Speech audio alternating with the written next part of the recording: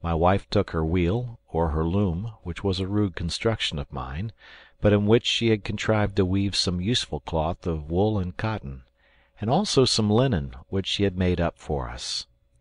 Everybody worked; the workshop was never empty. I contrived, with the wheel of a gun, to arrange a sort of lathe, by means of which I and my sons produced some neat furniture and utensils. Ernest surprised us all in this art, and made some elegant little things for his mother.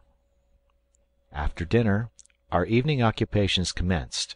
Our room was lighted up brilliantly.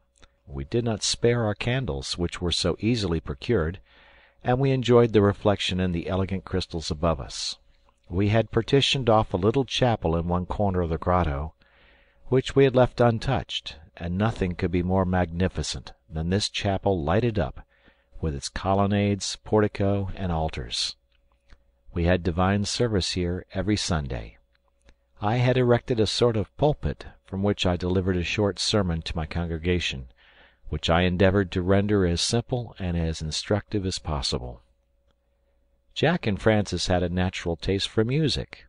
I made them flageolets of reeds, on which they acquired considerable skill.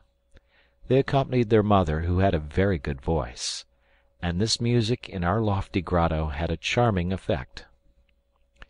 We thus made great steps towards civilization, and though condemned, perhaps, to pass our lives alone on this unknown shore, we might yet be happy.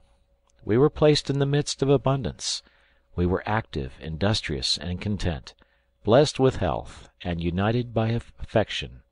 Our minds seemed to enlarge and improve every day.